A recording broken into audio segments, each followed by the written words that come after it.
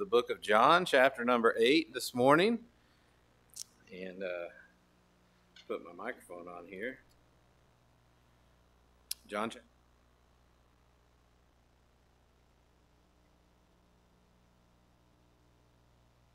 Our first habit is habit of reading our Bible, which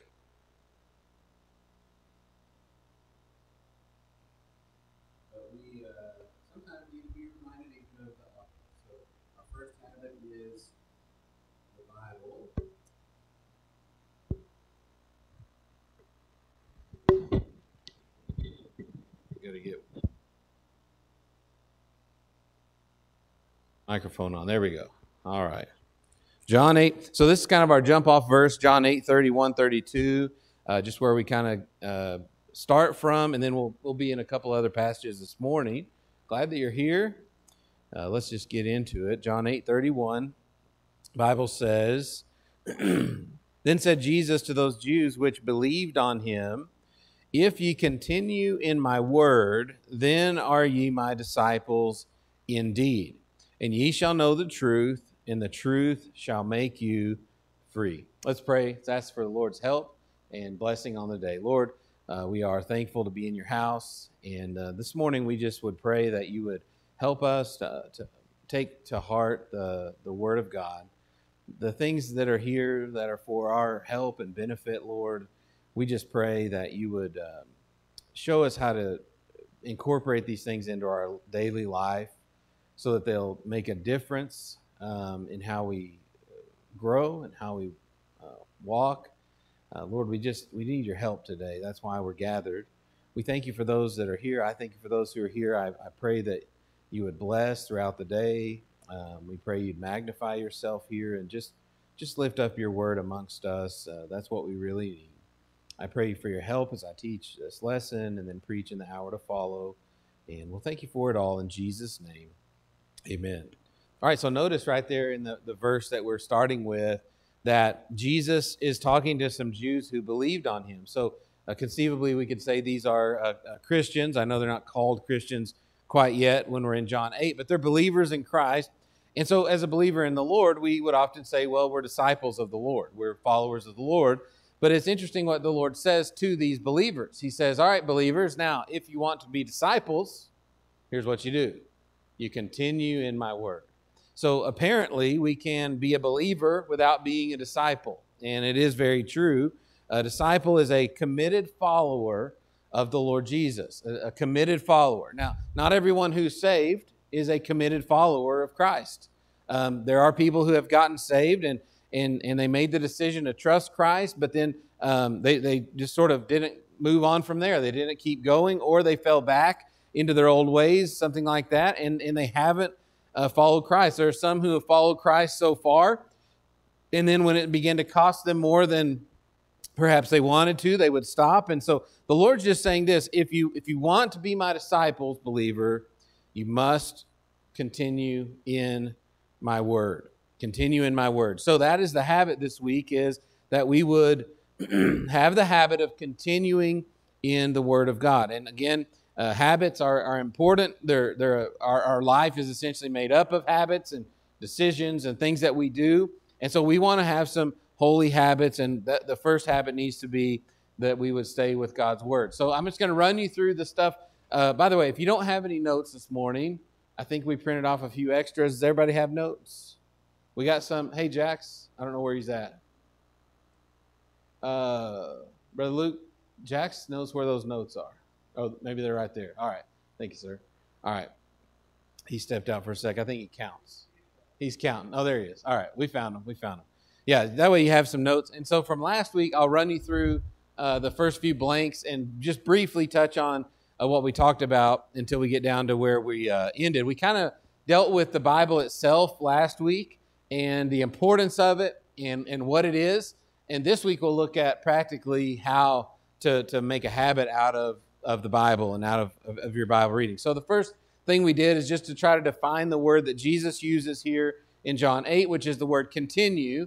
And that word means to remain, to abide, to sojourn, to tarry, to be held, uh, to be kept continually. And so it just means to be um, to be regularly visiting God's Word. And uh, my grandmother, on uh, actually, both my grandmothers have the habit of reading uh, their Bible, but one, my, my grandmother on my mom's side, who's passed away, I always think of her when I think of um, Bible reading and, and really this idea of continuing in the Word because um, my, my grandmother, I think she read the Bible through something like 40 times. Uh, she started reading it once a year, uh, probably before I was born. I don't remember. And, and she, um, she would read it every, every year. She'd read the Bible through. And she would tell me, and she told me often that because when you went to grandma's house, if it was a certain time in the morning, you were going to find her at the kitchen table with her Bible reading. That's where you're going to find her. And um, there were two things my grandma did. She read her Bible and she played solitaire uh, with with actual cards, not with the phone. And uh, it, her her cards, uh, her her playing cards were worn on the top right corner. So all the cards were worn from her dealing those out and playing solitaire. And if you turn the deck over, they were worn on that side too. Uh, what else was worn were the top corner pages of her Bible and uh, th- those are the things that she was that I, I remember her for um, the most and then also something that she told me uh, when we were fishing together that i'll tell you in the morning service um, but anyway she was one who had a habit she continually abided in god's word she every time i would go over there if it was like i said 9 or 10 in the morning she would be there you could just find her there at the kitchen table reading her bible and she told me this um, because i think as a, as a young kid I asked the question something like, haven't you read that before? Or some kind of question like that. Because it's, you know, as a kid, you're seeing her, she's always reading it. It's like, hey, haven't you read that by now? Or aren't you done with that yet? I thought I saw you doing that last year, you know, that kind of thing. And, and she told me, she said, every day that I read it, I learn something new. Every time I come back through a book that I've read before, I learn something new. And so the Bible is not a book that, you know, we can take and read once or we can take and selectively read various passages and then call it a day. No, it's a Bible we have to continue in because it is uh, uh, the Word of God. It's alive um, and, it, and, it, has truth for us each and every day. So we need to continue. Um, the second thing we said is that to be effective, the Bible must be applied. It seems obvious, um, but but I gave that George Foreman illustration where he carried a Bible for good luck. He just thought if he had a Bible, in his bag, in his gym bag, that he'd be a better boxer. Um, and, and a lot of people think that just because they're toting around the Bible uh, or they have one at home, that somehow God is going to uh, just, they're just going to sort of kind of have a good luck charm. And that's not how it works. It must be opened, read, and obeyed. It's not even just good enough to read it. We've got to follow and, and listen to God's word as well. So, gave you a few facts about the Bible uh, being a supernatural book. So, if you didn't get the notes, just jot it down. Bible was written by more than 40 authors. Those authors were writing over a span of about 1,500 years. Three different continents in three different languages. Yet the whole book agrees, cover to cover, without any mistakes or contradictions. So, just some things about the Bible. Uh, we said the Bible is made up of pure words. The Bible is given to us through a process of divine inspiration, meaning that God inspired His Word. And uh, remember, it wasn't uh, it wasn't like inspiration like maybe an artist would get if they saw something beautiful and they thought, "Oh, I'm inspired," and then they go and they do a painting. It was, wasn't that sort of inspiration.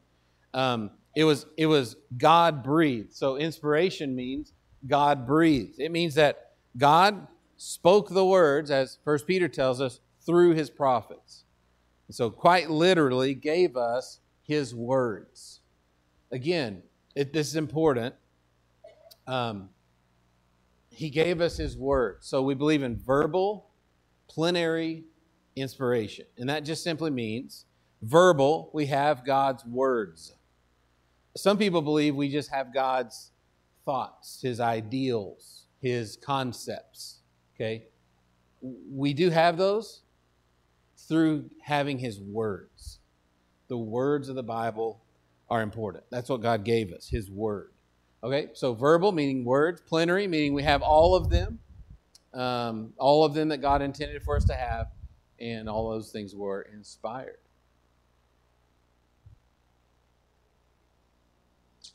Okay, then God preserved his word through a process of divine preservation. We looked at a couple verses on that, but the Lord gave man his word and then has continued to do the miracle of preserving the word. So the Bible I hold today is not close to the word of God or contains some of the thoughts of God or whatever. No, this is the word of God in written form. Every word. then we said the words are precious. And kind of here's where, you know, we do a little preaching because um, we have so many Bibles that sometimes the word, um, well, we can just forget how how precious the Word of God is.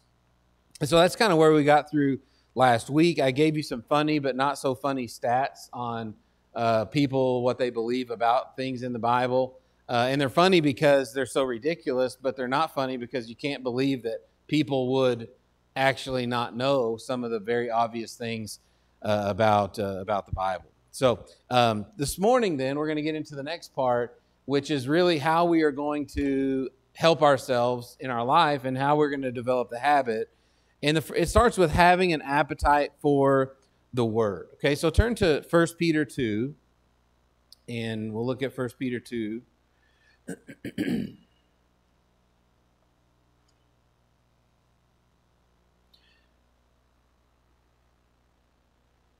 having an appetite for the word. 1 Peter 2, verse number 2. We're actually going to look at a lot of scriptures. I think I have most of them up here, um, but we'll turn to them. If I don't, we'll, we'll, kind of I'll click through and we'll see. But notice what 1 Peter 2 2 says As newborn babes, desire the sincere milk of the word that ye may grow thereby. So now here is actually a commandment by Peter. We don't really think of this statement as a commandment, but he's, he's telling us to desire the Word of God. He's saying, you, you folks, you Christians, need to have a desire for God's Word. And he says, as newborn babes. Now, uh, we got some babies in here recently, uh, and all of you have been a baby before, so you know babies desire what, what do they desire? Milk. And they let you know when it is time, do they not? They let you know when they need some more, and and uh, I don't know if they ever think they get enough, but uh, as a as a baby desires milk, a Christian should desire the word. Why? Well, Peter says that ye may grow thereby. A baby won't grow if it's not uh, getting proper nutrition. And so uh, a Christian will not grow if we're not getting proper nutrition from the Word. So we need to have a desire a hunger, an appetite for God's word. And I, am just here to tell you that's the reason we struggle with our Bible reading is we don't have a desire for it. I mean, just be. I, I hate to be so mean on a Sunday morning, but that is the reason. I, don't ever forget to eat. Y'all, y'all probably can tell by looking at me. I don't ever forget. I don't ever just go a day and be like, you know what? I haven't eaten today. Now, maybe I miss lunch every now and then because you get busy or something, but um, no, I, you know, I there's something that happens in my body that's like, hey, dude, go eat, go eat something. Um, in fact, after you eat, like half an hour later, it's telling you that again. Go eat something. That's that's the appetite. But spiritually, we should have the same sort of draw, the same sort of appetite for the Word of God. And the reason we struggle with our Bible reading is because we don't have the appetite. And that's a problem. That's a major problem. So we have to develop an appetite for God's word. Now, just get, let me give you a few things. The Bible itself likens itself many times to food. So we'll go through a, a few uh, uh, verses here. Jeremiah 15, 16 says, The words were found, thy words were found, and I did eat them. And thy word was unto me the joy and rejoicing of mine heart, for I am called by thy name, O Lord of hosts. look at Revelation 10. I've got it here. If you want to look in your Bible, you can as well. Revelation 10, verse 9. And I went unto the angel and said unto him, Give me the little book. And he said unto me, Take it and eat it up. It shall make thy belly bitter, and it shall be in thy mouth sweet as honey. And I took the little book out of the angel's hand and ate it up. And it was in my mouth sweet as honey. And as soon as I had eaten it, my belly was bitter. Now, it's really interesting. Uh, I'm going to read another passage in Ezekiel that's very similar.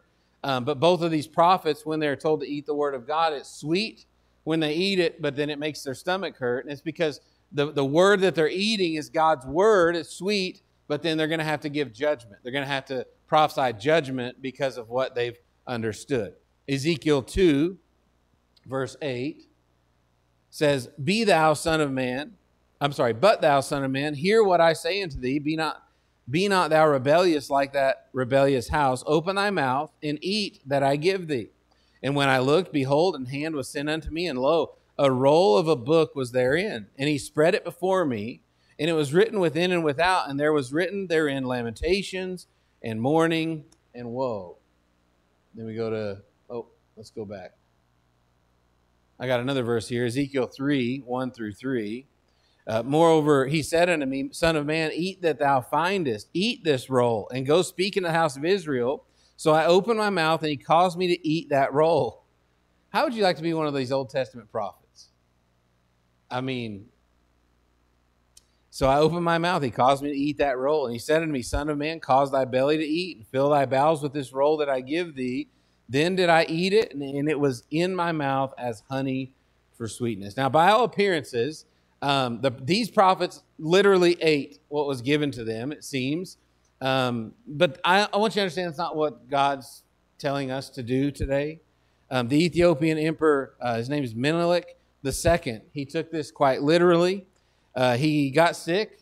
He was eating pages of the Bible in his belief that it would cure him. And he died in 1913 after ingesting the entire book of Second Kings. Uh, that's found in a, in a book called Your God is Too Safe by Mark Buchanan. Um, so don't take the advice of that emperor and try to eat God's word. Uh, I, am pretty sure none of you are, are going to try that. But I believe that what God's trying to tell us is God's word is something we need to take in. It's something that we need to ingest, not by chewing it up and swallowing it, but by reading it and uh, meditating on it and thinking over it and mulling over it and allowing that word of God to nourish us.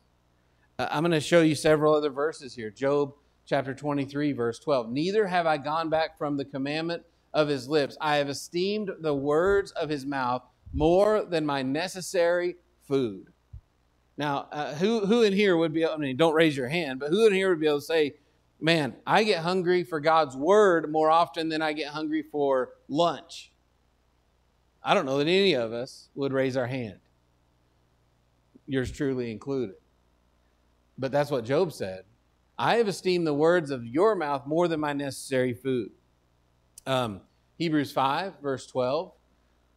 For when, for the time ye ought to be teachers, ye have need that one teach you again which be the first principles of the oracles of God, and are become such as have need of milk and not strong meat. Again, a comparison in the Bible, likening the scripture to food. He's, and Paul's kind of getting onto these Hebrews. He's saying, You should be teachers by now, but we're going to have to go back and teach you the first things, the first principles.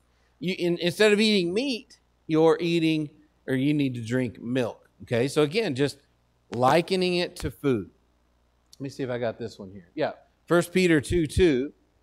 As newborn babes, desire the sincere, sincere milk of the word that you may grow thereby. Of course, your Bible is actually open to that one. And then one more. Jesus said this, but he answered and said, It is written, Man shall not live by bread alone, but by every word that proceedeth out of the mouth of God.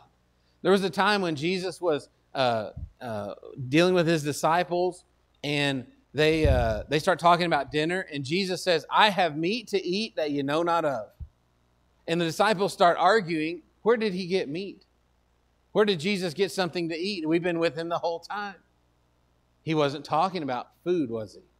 So, so again, the Bible likens itself so many times to, uh, to food. The fact that we need to take it in, we need to chew on it, we need to, uh, and again, not only is it something that we need to in, sort of ingest and um, digest and um, chew on and meditate, but the, the thing about the food is we don't go very far between meals, do we? Some of you ate breakfast before you came, you're already thinking about lunch. All my kids, while eating one meal, will ask us about the next meal. They're eating lunch. I'm like, hey, what are we having for dinner? I'm not hungry now, but I'm going to be. I'm just going to prepare. Like, we don't go that far between meals. Why? Because, well, we get hungry. We have an appetite. We, we, we want to fill our bellies. It's, it's part of, you know, it, it keeps us alive. Well, spiritually, how long has it been since you had a good meal? You know, sometimes you, you go a long stretch between meals spiritually. And let me just tell you, Sunday to Sunday, it's not enough. What if you ate once a week? I mean, just think about it. What if you only ate on Sundays? Well, you wouldn't look like me. no. But spiritually, that's a lot of a lot of Christians. They nibble a little bit on Sunday morning. That's all they get. It's not good enough. That's why the Bible likens itself so many times to food and, and eating and taking it in. Now, turn to Psalm 19 with me. Psalm 19, I think. Yeah, I don't have it up here. So turn over there. Psalm 19.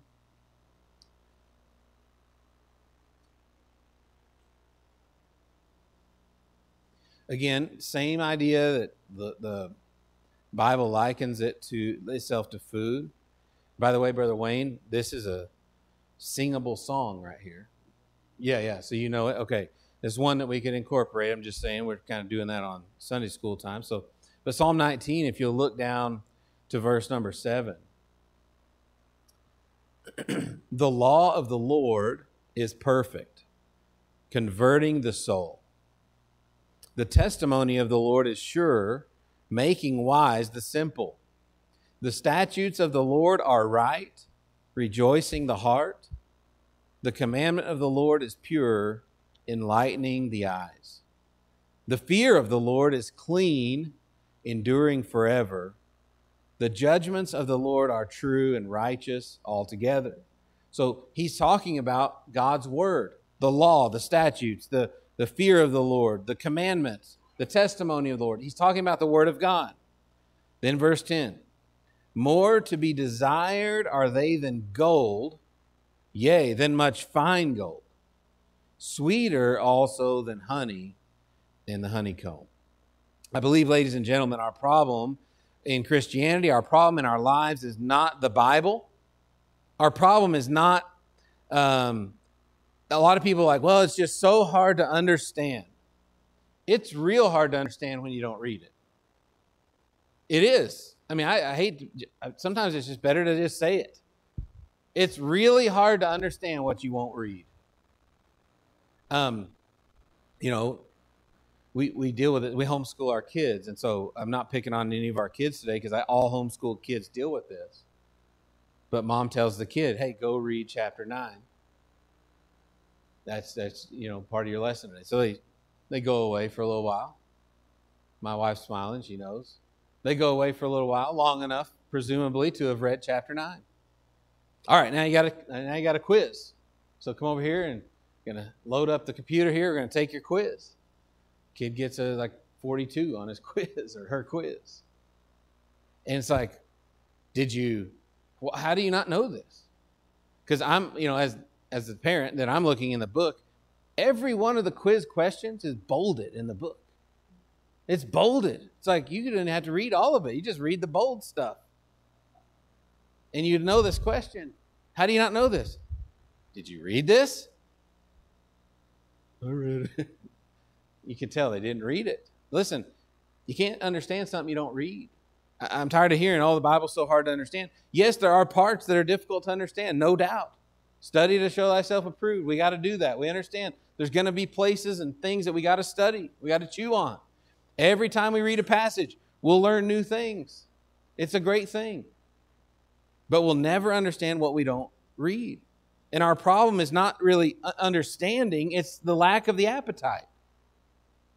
I know something about food, I typically always want it. If you have food, I'm in. I want it. And after I eat it, it doesn't take me long to get hungry again. But spiritually, I can just fast for days. And that's not good. As newborn babes, I'm just telling you, if you if you're in that newborn stage or you've been there before, it seems like every 30 minutes that baby is wanting something. As newborn babes desire the sincere milk of the word. I read a story of a college professor um, who was given a kind note. I guess it was a Bible college.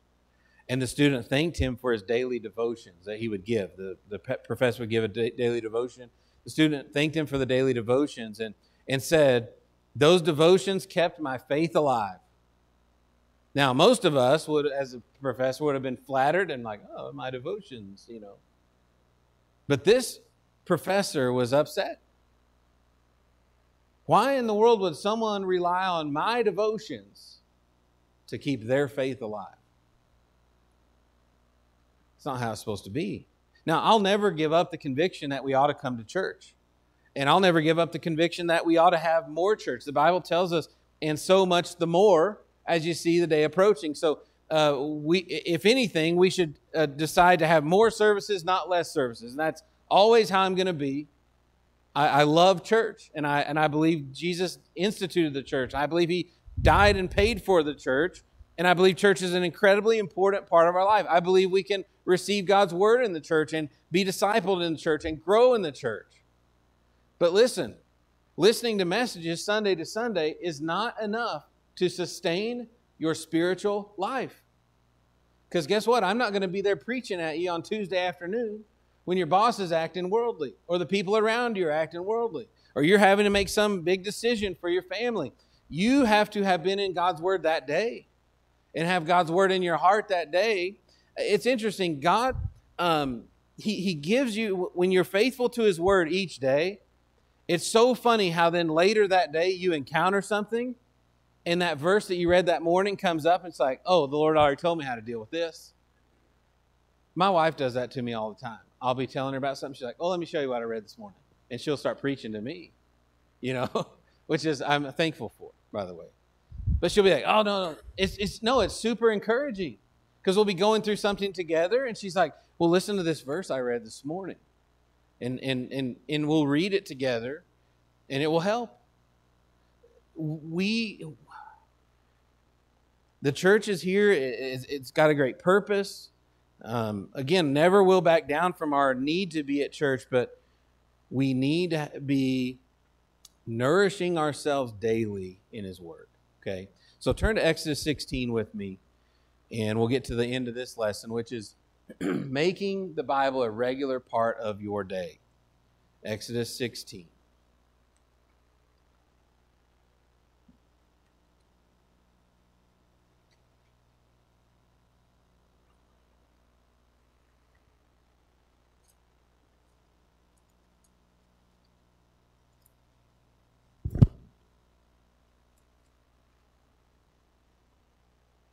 So, um, right at the top of my Bible, where it gives you like the a little blurb of what's happening on the page, it says the Israelites murmur for want of bread. Okay, there's no lack of appetite. That's what I'm saying. They're they're they're hungry, and and they're um, the Lord's gonna give them something here. So look at Exodus 16. Look at verse 14. Actually, go back to verse 11. And the Lord spake unto Moses, saying, I have heard the murmurings of the children of Israel. Speak unto them, saying, At even ye shall eat flesh, in the morning ye shall be filled with bread, and ye shall know that I am the Lord your God. And it came to pass that at the even the quails came up and covered the camp. In the morning the dew lay round about the host.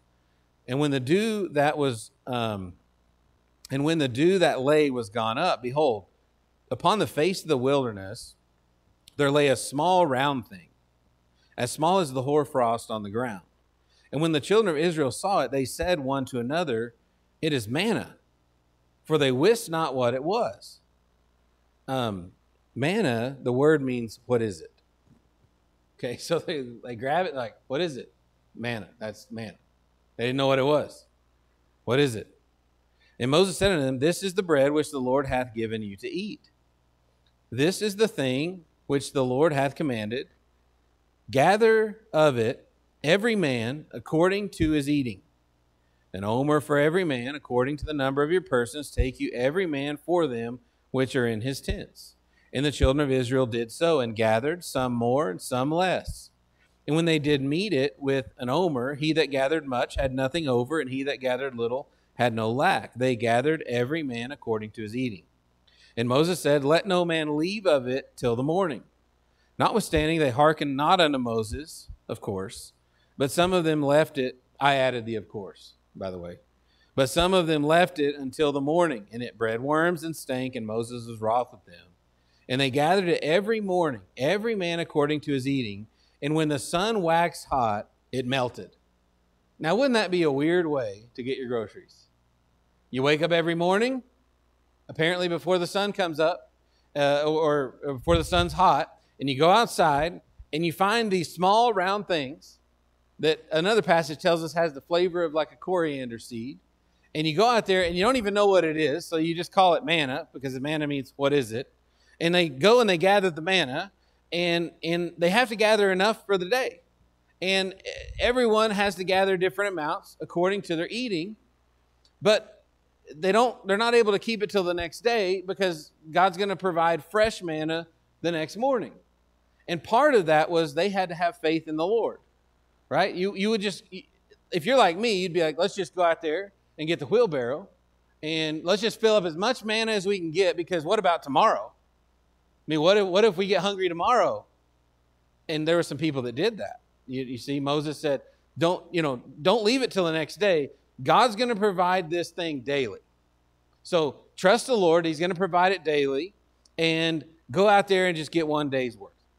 And so they went out there and they got one day's worth. Each man got what he could eat that day. Each woman, same thing. And what's interesting is they had to get it before the sun. If you didn't get out there in time, it melted. That's some weird food. Um, I don't know if we'll ever get to know what that's all about, but that's some strange food. The sun just melts it. There's some practical stuff we can learn here because, again, that's like I said, the Bible likens itself to food and God providing our needs. So, um, here's how we make the Bible a regular part of our day we gather it daily. Daily. You, you need spiritual nourishment every day. You say, Well, I read 24 chapters yesterday, so I'm good for the week. Here's something, here's something I know about my brain it can only retain about this much information at any given time. And if I read, again, nothing wrong with reading 24 chapters a day. Um, if, if, that's your, if, you, if that's your plan, that's what you're doing, that's great but don't do it that one day and then expect to remember all that stuff in it to get you through the whole week. God wants to speak to you every day. Every day, His mercies are new. Every morning, He wants to, to give you what you need spiritually for the day. Every day. So, again, I mean, we get all excited about our Bible reading. We read a bunch of chapters, and, and we're like, man, I really did it today. And then the next day, you're like, well, you know, I read enough yesterday I covered that. Or I'll, you know what, this weekend I'll just read a bunch all at once. You're missing the point. Okay? The point of reading your Bible is not to I almost said read your Bible. Um, the point of reading your Bible is not just to get to the end, right? Like when you read a book, a novel, maybe the point is to get through the story, get to the end, finish the book and then get another book and read that, and it's more for entertainment. The point of reading your Bible is daily spiritual nourishment. The point of reading your Bible is God, I need something from you today that apparently I didn't need yesterday, and I won't need tomorrow. But I need something today from you, and so I'm going to read the Word. So make a daily practice. You say, well, when should I do it? Um, I'll, I'll talk about that in just a second. So pause on the when should we do it. But here's the thing do it. every day. In the Bible, every day. Uh, the second point that I get out of this text in Exodus 16 is this gather as much as you need. Gather as much as you need. Um, it, for me, this has kind of been seasonal, if you will. There were times when um, I've, I've done a plan where I read the whole Bible in three months. And you're reading about 16 to 20 chapters a day, and you're just really taking in a lot of the Bible every single day. Um, there are other times where I was reading just a couple of chapters a day um, because that, that's what the Lord sort of impressed upon my heart to do, whatever the case is. So um, it's not like we have to set up, we like the one year Bible plan, I think, just because it, it really works. Like we, we understand it. You know, we got a 12 month calendar, 365 days. We can spread out the chapters and, and have a pretty reasonable amount of stuff to read every day if we do that. There's nothing wrong with that. If you say, man, a one year plan really works for me, and that's that really helps me, it, it gives me enough of the scriptures each day, then do that. If you say, man, reading the whole Bible in a full year is too much, four chapters for me is too much, then read the whole Bible over two years. Um, it's not about how much you read. It really isn't. It's just that you are reading. Now, don't read Jesus wept every other day and call it good. Okay? You, you understand what I'm saying? You, you need God's word every day. I don't know how much you need. I mean, as a pastor, I try to encourage everyone to read through their Bible in the year. Um, but in the past, I've had people that said, you know, if I read four chapters, the the I missed the last two because I don't know. You know, they it's just too much information in one setting, or it takes them too long. Maybe they're a little bit slower reader, or or whatever the case is. And in my my answer to that has always been, just read your Bible. If you read one chapter a day, you're doing better than reading zero chapters a day.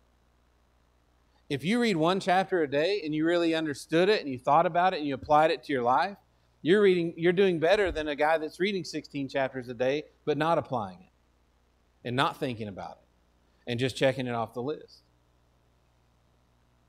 These folks were to gather food to eat, to get them the nourishment that they needed. And so, what I'm saying is, it's not a one size fits all. There's a whole lot of different things. You know, you're going through a season of, of trial. Maybe you need to read through the book of Psalms. You're, you're lacking wisdom to make big life decisions. Maybe you need to read through the book of Proverbs. Um, again, as much as you need. Then, I love this. Uh, I, I love this this point here in Exodus 16. You got to gather it before the sun melts it. The lazy person in Exodus 16 didn't get anything to eat because they by the time they got out there, the sun melted. Melt, sun melted the, the sun didn't melt. The sun melted the what is it? Manna. Exactly. um, I, am not. I'm not saying you should get up at 4 a.m. and read your Bible at 4 a.m. I don't get up at 4 a.m. Ask Wayne about that. He's good at getting up at 4 a.m. or earlier. Um, if you are an early riser, it's a great thing to do this idea about before the sun melts it is this, and I, have experienced this. I experienced this this week, and I told my wife I knew I should have read my Bible.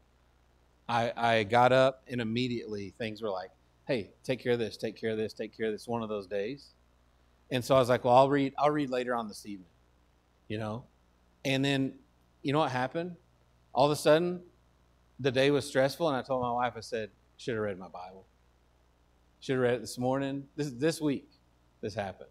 Now, I will tell you, I did end up reading it, but I should have read it before the sun melted it. What I'm saying is, before your day gets going, you need to be with God, whatever that means. Before your day really takes off and you get busy, because because here's the thing. First of all, um, it's very easy to get busy and just forget altogether, and then you're laying there in bed and you're like, "Oh, I did not read my Bible." Well, I'll have to read double tomorrow. And again, what did God say about holding it for tomorrow? That, that's not the point. The point was you missed the nourishment today. All right, so um, before your day gets going, that's what I'd say. Whatever time that is, if you got to get up a little earlier to do that, do that. But before the sun melts it. Psalm 23 gives us the same illustration on Wednesday nights. If you're here, you may remember that the um, the shepherd always wanted his flock out in the morning because as they ate the grass, there's dew on the grass, and they were nourished. a, a shepherd that has his flocks out in the early morning eating dew laden grass many times doesn't even have to lead those sheep to water later that day because they get all they need right there in the morning, right off the grass. And so it's another principle as, as if, you know, the, the shepherd brings the, the flock out there at 1 p.m., there's no dew on the grass.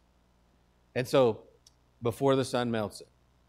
So this habit is it's important. Um, all the habits we'll talk about are important, but I'm telling you, nothing will change your life like this habit.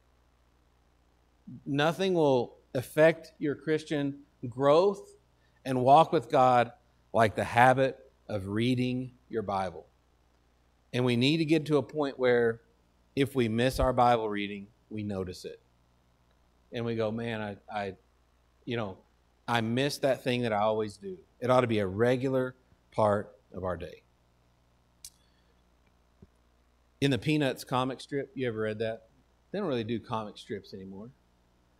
I guess they do somewhere, wherever you can buy a newspaper. But in the Peanuts comic strip, Sally was struggling with her memory verse for Sunday school.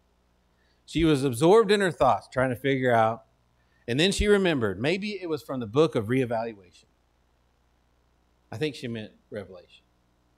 She never did find that memory verse, but perhaps we need to read the book of reevaluation if our schedules do not allow us time in God's Word.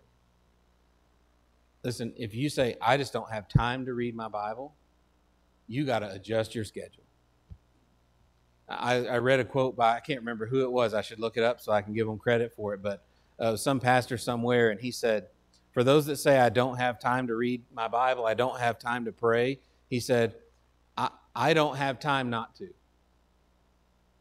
Because he just knew the change that it makes in the day and the change that it makes in his life.